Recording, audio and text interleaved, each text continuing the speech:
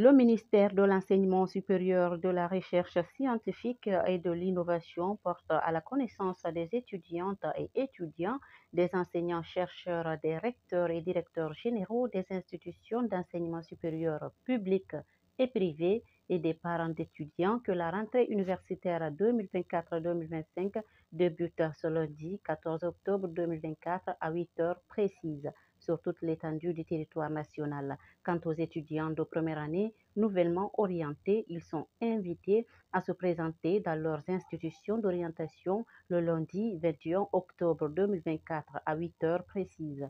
Les recteurs et directeurs généraux de toutes les institutions d'enseignement supérieur sont chargés de prendre les dispositions idoines pour assurer une rentrée universitaire effective à la date indiquée et le respect scrupuleux du calendrier universitaire 2024-2025 déjà communiqué. Le processus pour obtenir un visa pour les États-Unis, la loterie Divi, a débuté le 2 octobre 2024, suscitant de l'engouement notamment chez les jeunes Guinéens qui veulent vivre et travailler au pays de l'oncle Sam. Chaque année, des centaines, voire des milliers de jeunes tentent leur chance pour espérer décrocher le précieux sésame. Le contexte économique difficile explique cet engouement visible à travers les tentes installées à travers Conakry. Le manque d'enseignants, l'insuffisance de salles de classe, la vétusté des infrastructures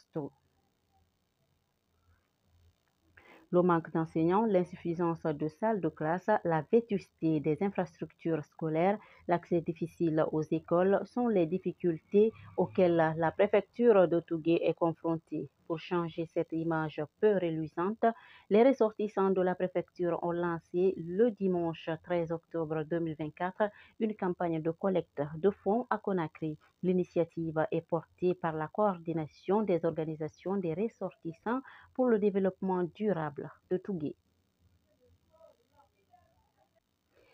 Dalaba, deux fillettes perdent la vie dans une mare à Hollande.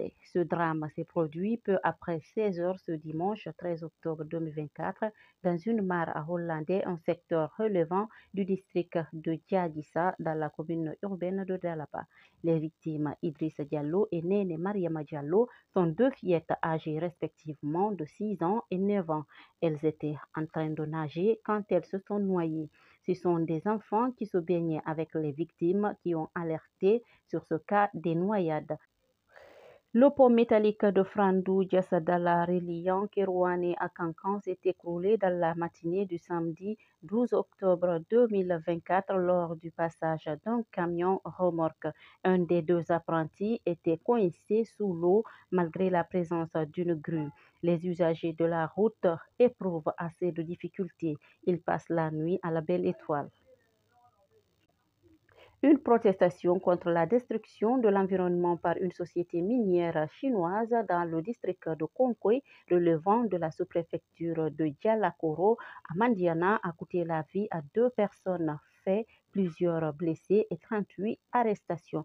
Cette situation regrettable a été causée par l'intervention des forces de sécurité qui ont fait usage d'armes à feu et de gaz lacrymogènes contre les protestataires. Lundi, l'Organisation mondiale de la santé a franchi un nouveau cap dans la lutte contre le Mpox en approuvant la préqualification du vaccin Gineos de Bavarian nordique pour les adolescents âgés de 12 à 17 ans.